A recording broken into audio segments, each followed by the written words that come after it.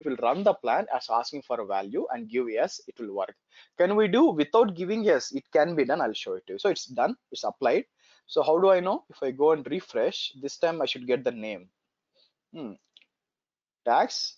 So i gave a small name small n guys. So what i'm going to do i'm going to change that actually. I'm going instead of n small n i'm going to go big n save it. Again i'm going to run terraform apply. This time i don't want to give yes. I simply give hyphen hyphen auto hyphen approve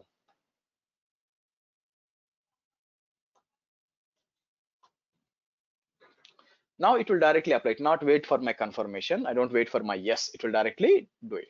So if i again go and refresh here if you see this time i got my my devops vpc this is how you can perform a init plan and run on the on the using the devops. You can deploy things on the machine on the aws so what are things you require? Minimum you definitely require the credentials. It's not mandatory you are going to use access key and secret key guys. It's not mandatory. So and it's not also good practice also just by typing here. We normally don't give directly access key and secret keys because if somebody has access to this code right they can see the access key and secret key which can cause issues. So we can do this in other method also. How can we create a role and then we're going to use that role to deploy this one okay? Before that we can also destroy. We create it we destroy it right? What we can do i can go terraform destroy and then auto approve that means whatever it has created whatever the terraform has created it will completely de uh, destroy it. See it's destroyed. So what i can do i can actually go back and then do a refresh and it's gone this is how you perform the terraform destroy any questions guys? Any confusions here before going ahead? Uh, harsha this uh, mm terraform apply right? That syntax will run only that uh, main.tf file correct? No no it's not like that. Okay. Oh. so that's a good question. Let's do one thing. What i'm going to do is let's do one thing. Okay. I'll do one thing. Copy I'll also give example one because you can't duplicate this one. Example one. Let me copy this. Uh, I'm going to put an EC2 is the right? I keep it here. This time I'm going to give example 2 and example 2 or VPC2 save it. Again come to VPC give it here and example 3 and uh, this one is 3 okay? So let's do one thing. If I go back and type terraform again pl uh, plan. Let's see what will happen. It is actually three guys. It is deploying three. Because what terraform will do see example three and it is deploying the devops vpc3 and my devops vpc2 and it is taking the resource example to one and everything. So what it will do is in a folder it will check for all tf files and whatever the tf files it is there it will try to execute. So what will happen if i say terraform apply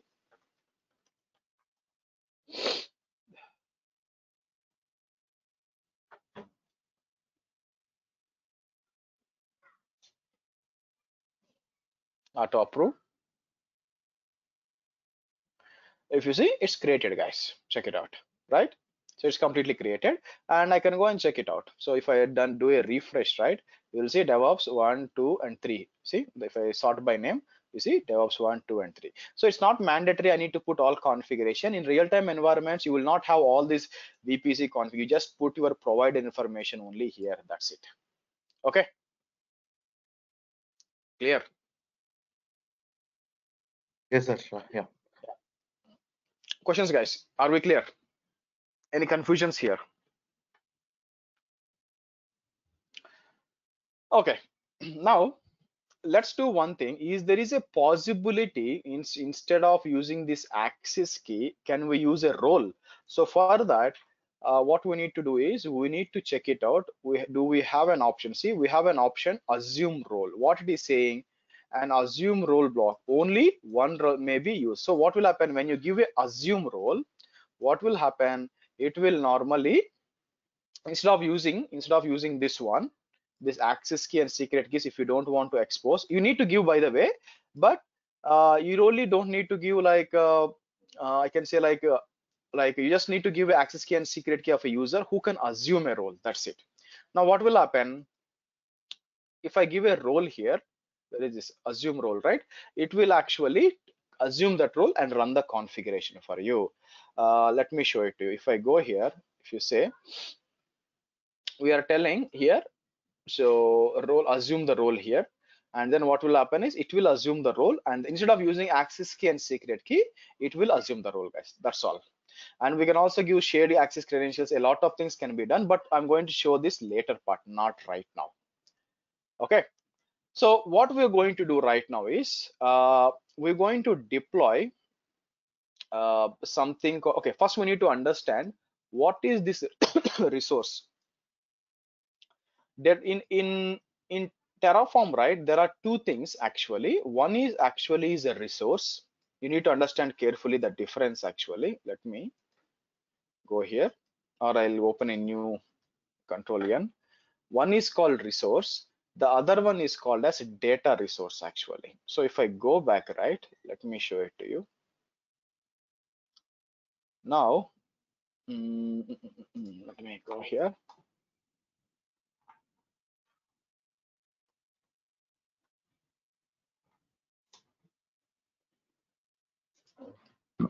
Mm.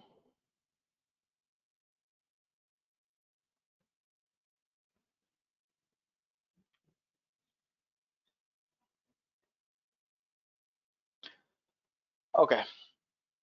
Now see here you have sources resources providers everything. You have something called as data resources guys.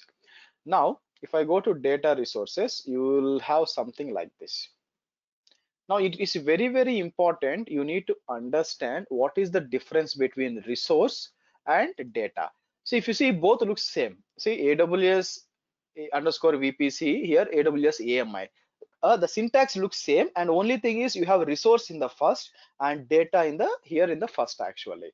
Now let me tell you here if you give a resource in the configuration i'll give something like this.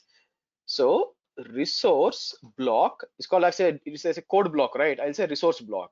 Resource block will create the resource. Very simple okay? Resource block will create the resource guys. That's it. It won't do anything.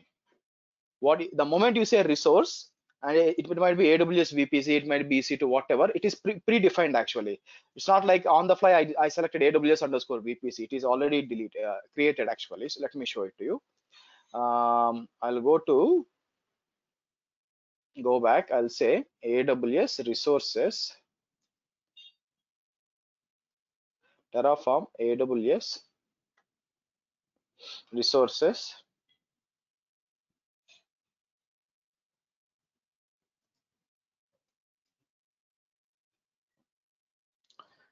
Now if i come down there will be two things here. See it, it is showing actually ec2 under ec2 you have data sources and you have resources actually. Okay?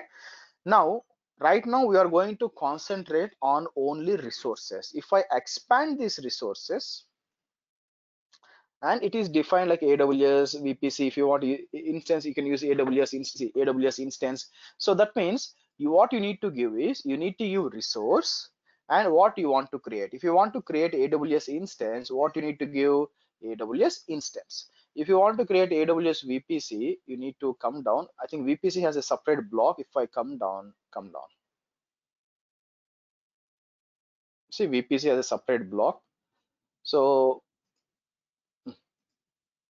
vpc and we have again data sources and resources. Inside that one in under the resources you have AWS VPC.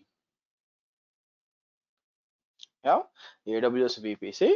And what is this one? What is the example?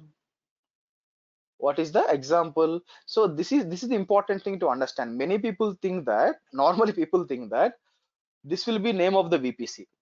Since you are creating a AWS underscore VPC, they think that whatever the VPC they are creating, it will be the name will become this one but if that is the case why we give tags name as my devops vpc so that is not true let me tell you this is okay if i go here put a resource and hit the tab the syntax is resource resource type and name. That is the syntax. That means resource the resource type you want to create is aws underscore vpc and this is the name. Name of what? This complete resources from this block this this bracket to this bracket right? The whole code is there right this code the name is example vpc that means if you have like lot of like if i have like 10 vpcs right here you see uh, what i'm going to do is i'm going to copy here imagine i'm going to do something like this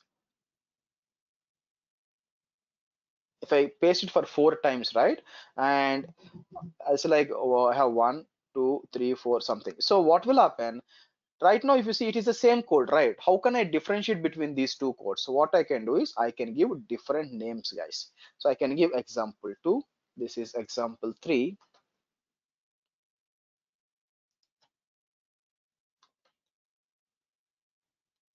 So now I have example one, two, three, and four. So now the code right whatever the code this code is this code block from line 2 to line 7 right?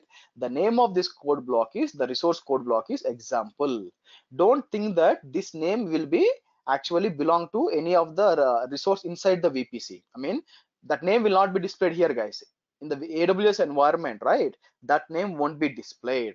That name is only exist in the terraform. So tomorrow if i want to access this somewhere right imagine i want to access this code code block somewhere what i can do i can simply give aws underscore vpc okay dot example one dot so i'll say tags dot name if I give this one, so what will happen? So the moment the Terraform sees this, oh, I need to go to the AWS VPC example resource. That means this is the resource. In that one, I need to go for tags. In that one, I need to go for the name like this we're going to access. So when you create a resource that means you are creating a you, you are creating a resource in the aws actually or azure whatever the cloud. And side the name of this complete resources at terraform level is example one it has nothing relation to aws inside the aws you won't see that example one anywhere. You will see only the tags actually. The tags name is equal to my devops vpc one right?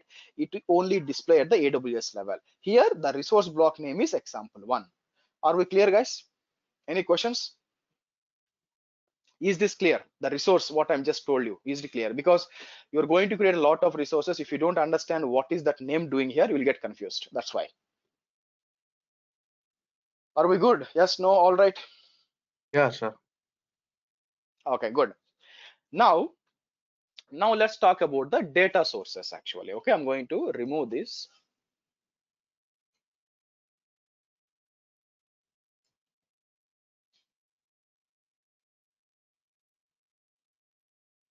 Now let's go here uh, or here. There is this. Okay, I'll go to data. Okay, let's, I want VPC, right? Okay, hold on.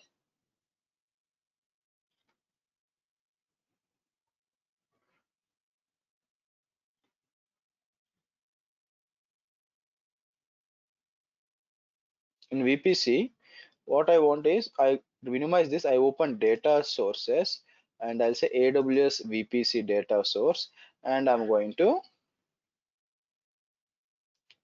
copy these two actually so that you'll understand what this is doing. Okay. What exactly data source how it is different from a resource? See resource concept is very simple. It will create a resource. Whichever the cloud or uh, on-prem vmware doesn't matter. When you specify a resource and then what is the type of the resource and the name of the resource it will create the resource. But what will happen imagine a scenario. The scenario is uh, you are actually managing the aws for a for a while. And uh, you started like almost one or two years you are managed using manually. Now you have decided to use the uh, use the uh, terraform actually. Now the problem here is you already have the existing infrastructure. Now what do you want is you want to create a new subnet. Okay? You want to create a new subnet. Imagine i already i already have some VPC something like this actually. Some green VPC is already there okay? Now I want to create in that one. The problem is that green VPC is not created by Terraform. It was created before Terraform. How can I take that information? What I can do is I can give data. The moment you are giving data instead of resource means the moment you give data that means the, resource is already there in the terra uh, in the aws i want to get that information. So what i can say data aws vpc i'll say the name of this this code block is green vpc in the id what i'm going to do is i can actually go here and copy the vpc id and i can give it here. Now what will happen when this code is running right what it will do is it will go talk to the vpc and get this information. Okay next time when you are creating a resource see resource they are applying a creating a subnet. Now see vpc id what they are saying? Data okay aws vpc or i need to give green vpc here green vpc dot id so obviously then this subnet will be created since we gave as a vpc id this one if you if i don't give this data right the aws i mean the terraform really don't know what is this where exactly I can get the green green VPC information because it's not created by me, right? It was created long back. So if I need to create into uh, an existing infrastructure which is not part of Terraform, what we can do is we can actually use the data, pull that information into Terraform code, and then utilize that one. Clear, guys? Guys, clear? Yeah, sure. So, uh, Harsha, basically, like uh, whichever uh, resource we are not created, uh, I mean, we are not creating, or or if it's already existing, to do uh, any edits or uh, changes to that resource, uh, we go with the data option, right? Yes, yeah, yeah. To pull that, to make to make uh, Terraform aware of that resource, we use the data. Okay, sir. Uh, Okay. But but we but we need to know some information about that uh, that we, that uh, resource. Basically, it's a VPC name or uh, Yeah, I'm coming to that one. Now, if I go here, mm, okay. Now, data, where is this one? Okay. Now, what it is saying that one, AWS VPC provide details about specific VPC. Okay, so the following example shows how one might accept a VPC ID as a variable, use this data source to obtain data necessary for creating. Now, if you give data AWS VPC like this, right, when you run the code, what will happen is this is argument reference. That means what are things you can give instead of ID, you can also give all these things. That is not important. If you come down, you have something called as uh, attribute reference actually. What is this attribute reference? Okay. Now when you when you give a data this data source will complete the data by populating any fields that are not included in the configuration. So it will automatically pull all this information. If you see it will pull all this information. So what will happen? See what you are accessing is you are accessing only vpc id right? You are accessing here data. I'm going to say i'm going to access vpc id the moment you give app vpc id this will run and it will gather all the information along with this one the argument this information tags. It will also pull out this all this information. See all the argument attributes except filter blocks are also exported as result attributes. What i'm trying to say is let me do one thing for you let's test this one. Uh, what i'm going to do is i'm going to copy this. Okay i'll go to main actually. Main right i'm going to delete this one since we already deleted that or i can give control forward slash it will comment it out okay? Now i'll go to ec oh sorry i'll go to the this untitled. I'll going to copy this. I'm going to put on main actually. Main save it. If i run terraform plan right what will happen? I just put uh, let's see what will happen. Okay so what exactly did did? Oh it is great oh sorry guys i need to i removed everything right? Where this came from i removed every oh okay okay you have this here information here also. Hold on let me comment it out i really don't want to create this. Okay let me run it again. That's why you need to run always the plan to find out what's happening at the backend okay if i run a terraform plan it is saying that one data changes aws vpc green vpc refreshing this. That means it has contacted the aws and gathered the information of vpc okay fine. Where is the